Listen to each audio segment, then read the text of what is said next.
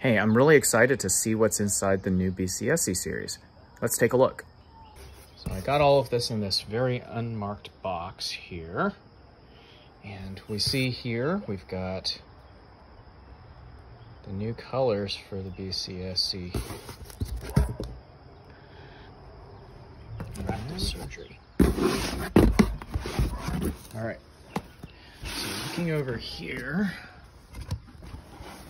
got a pretty large stack of books here. All right, let's crack them open. Okay, I've gotten all of these books out of the wrapper and let's kind of dive in and see what we find. Let's start off with the table of contents over here. And again, shout outs to all of the people who've worked really hard to put all this together. Let's see, so chapter one's about using research, the discussions on endocrine disease, hypertension, hyperlipidemia, heart disease, cerebrovascular disease, pulmonary disease. I mean, it covers pretty much all of the major things that we need to know. And if you're preparing for the OKAP, there are some really good um, questions that can come out of all of this because the way this book is written is specifically tied into ophthalmic considerations. So like this, vitamin B12 deficiency may cause bilateral optic neuropathy presenting with central acuity loss and cecocentral scotomata on visual field testing. That's something I see every so often in the neuro-ophthalmology clinic.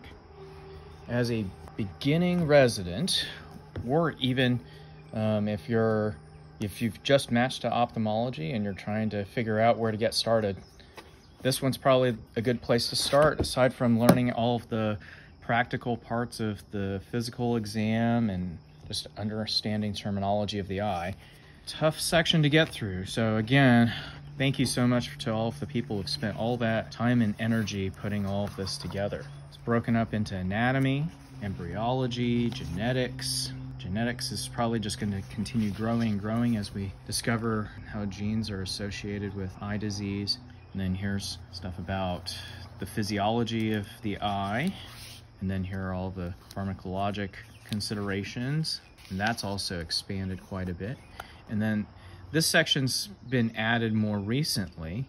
Started out with just talking about the principles of radiology and a lot of the useful tests that we look at. But this is kind of a new section looking at the role of digital ophthalmology and artificial intelligence. And I suspect that this section will probably continue to grow over the next many years. So let's take a look here. I still remember when I first started. I started out looking at this and there's like all of these different numbers and you know, there's some great diagrams to help you see where things are in relation to each other. When you're first starting out though, this can be probably some of the more tedious things because you feel like you have to memorize every single little tiny piece of trivia.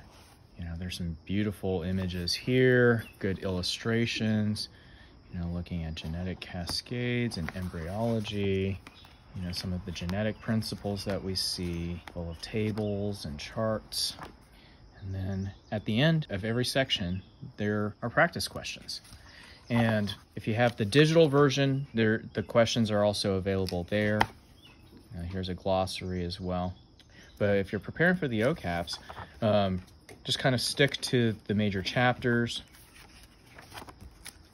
um, all of the appendices and glossaries and stuff are there for reference rather than being question fodder.